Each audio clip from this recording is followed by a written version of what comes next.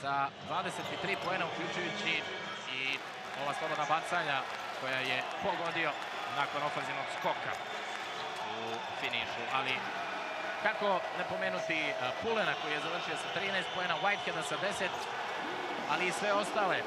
Sead Šeković koji je odigrao nevjerovatan duel u odbrani, mijenjao se na Panteru, na Davidovcu, imao veliku minutažu i apsolutno opravdao povjerenje koje mu je ukazao Mihajlo Pavićević.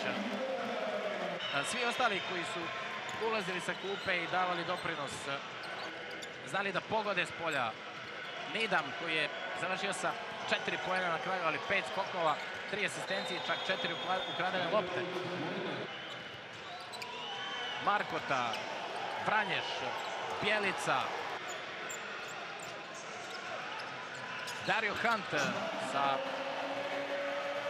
doprinosom u odbrani svakako, možda ne toliko u skoku koliko se od njega očekivalo, ali u svakom slučaju ekipno je Mornar večeras izgledao izuzetno, igrao majestralno tri četvrtine Zvezde, je morao da pokaže svoj kvalitet kad tad, učinila je to u posljednje četvrtini koja je dobila 23-9, ali je Mornar prije toga stvorio dovoljno veliku zaliku da bi utakmicu